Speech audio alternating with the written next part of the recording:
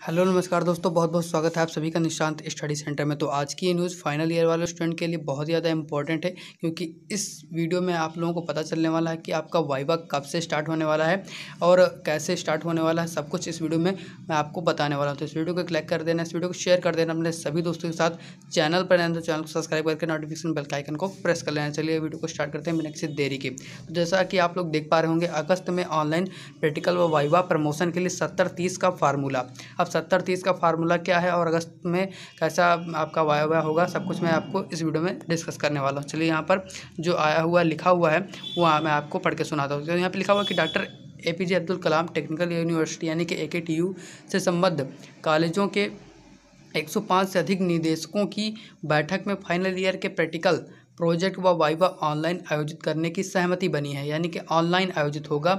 ये सब प्रैक्टिकल और वाइवा जो है, ऑनलाइन का कार्यक्रम होगा, यानी कि ऑनलाइन आप लोगों से बातचीत होगी। ऑनलाइन उसका जो है, वाइवा लिया जाएगा, ऐसा बताया जा रहा है।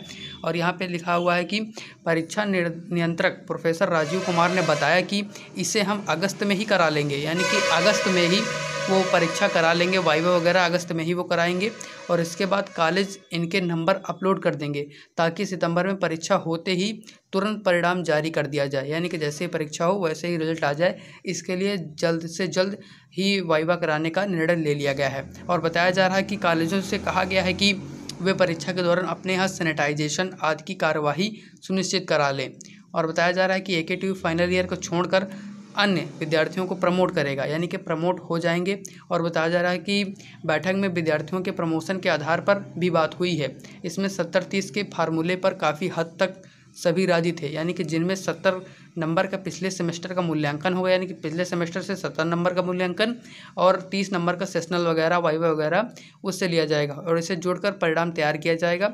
माना जा रहा है कि इसका परिणाम इसी महीने जारी कर दिया जाएगा, यानी कि इसी महीने जारी कर दिया जाएगा। मतलब ये है कि जो वाइवा है, उसका परिणाम जारी हो जाएगा।